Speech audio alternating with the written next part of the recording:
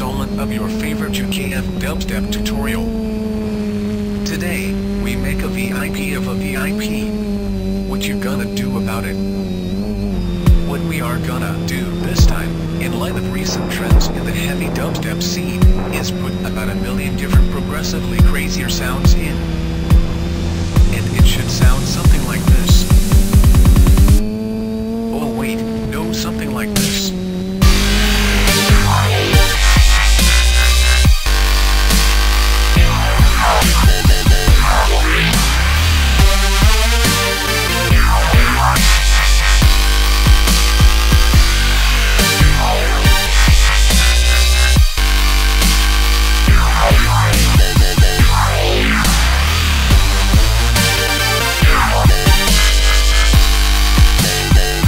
A beatdown section, why not try messing with double time?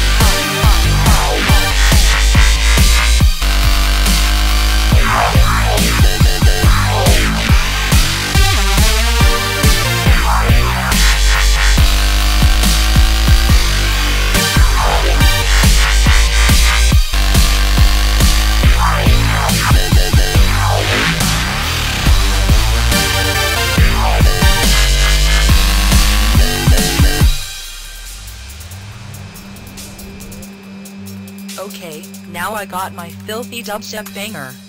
But no one skanks out at my shows, and I haven't got any bitches. Where did I go wrong?